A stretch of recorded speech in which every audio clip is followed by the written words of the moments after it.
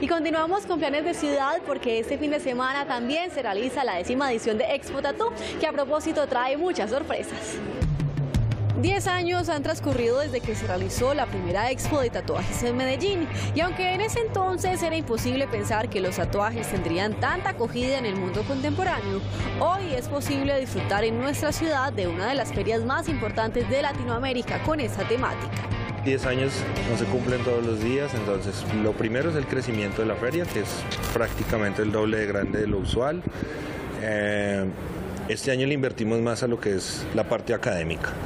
Entonces incluye dos días adicionales, que es lo que estamos haciendo en este momento, que es un congreso que hemos tenido pues, cursos de bioseguridad, ahorita es muestra de marcas de industria, de expos aliadas. En los 10 años de Expo Tatuaje en Medellín, los asistentes podrán disfrutar de 180 stands, música, pintura en vivo y exponentes de toda Sudamérica y de países como Estados Unidos, Islandia y China. Usualmente las expos lo que intentan es mostrar la evolución del artista en el último año. Y bueno, a través tenemos una competencia que es muy feroz siempre. Es la gente compite muy fuerte en este país y de hecho viene mucha gente de otros países buscando esa competencia porque no la encuentran en otros lugares.